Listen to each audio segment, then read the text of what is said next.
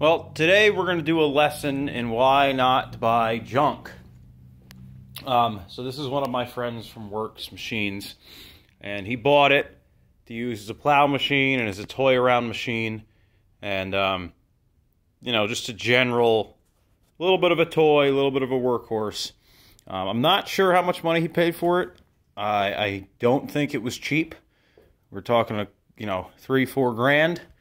Um, it's an 05 500 HO Sportsman, which back in the day was a good machine. Um, and they were pretty reliable from all intents and purposes. But this one, oh, this one, this one is not good, um, really at all. So we're just going to start from the front to the back, and we'll go through it and talk about why you shouldn't buy a piece of junk. Um, because now I mean, granted, I don't really charge a whole lot of money for the work that I do on stuff like this, but for the extra $500 that it's going to cost him to fix this thing through me, you know, he could have bought something that was nicer. So this has got every problem that a machine can have. It's only got 1,200 miles on it, which really isn't very many, but it's just never been maintained. So if we start off at the front, well, the radiator was cracked. I just got done replacing that. That's fun on these. Um, the reason why it was cracked was because this plow mount, when they put it in, either this isn't for this machine, it honestly looks like it's some rigged up thing. It pushed the front skid plate into the bottom of the radiator, as seen here, right there, and cracked it. So, yeah, that happened. Uh, I don't know that he knew about it. Actually, he didn't know about it because his son told him that about it once he got it home. Um, so you know, it had fresh, brand new coolant in it. You know, and the guy obviously was just topping it off, and it was weird because it really was a very minimal leak. What would happen is once it got hot, the radiator would expand and then it would leak. Um, of course, little putts around the lawn, you're not going to see that, so you're going to come home thinking everything's good. So uh, at least he put new tires on it, though. That was nice of him. Um, so so yeah, so the radiator was cracked. That was problem number one. Problem number two, and this is what you get into when you start buying garbage. This. I mean, I don't even know what this is. I think it's got aftermarket heated grips.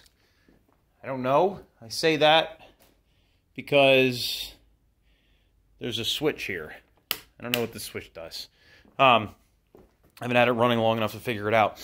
But yeah, so this rat's nest, this is the winch cable. I mean, this is just thrown up there. I'm glad I took the front end off. I never would have even seen that.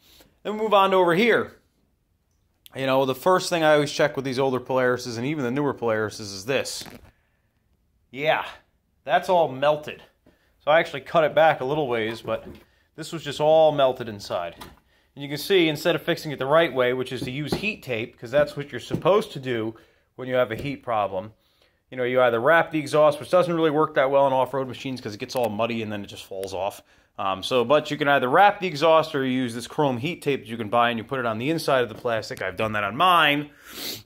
And then it doesn't melt the plastic and you don't have any heat issues. But this person said, just decided, and this is not my friend, this is the people he bought it from, decided to do this. So that's a nice fix. So what happens is because this doesn't actually do anything for metal, it's just a piece of tin. Um, the heat just goes right through that and then starts melting the plastic. So I'm going to wrap it in heat tape. Uh, the rear brake works good. So that's broke. I don't think he cares about that. At least he didn't sound like he did. So we're just going to keep that the way it is.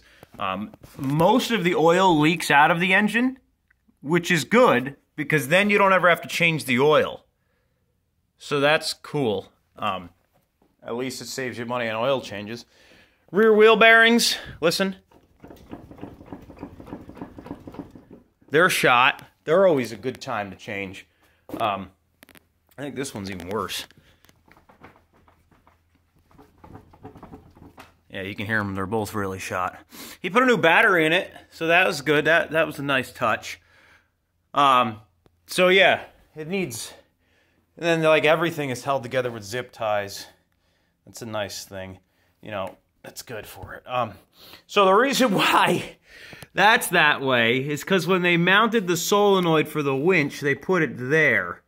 But then there's not room for the plastics to be in their original mounting hole. So they just figured, well, we'll just space it out and put a zip tie instead of putting this somewhere else. So that's the way people do things. And then this is nice. I like this. They use zip ties and everything, but then to hold the actual wiring together for the winch, you know, crimp ties everywhere, this crap.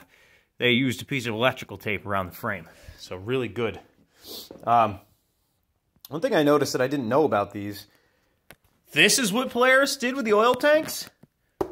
A plastic oil tank that's directly behind the suspension in the front of the quad. That's a, that was a good idea, Polaris.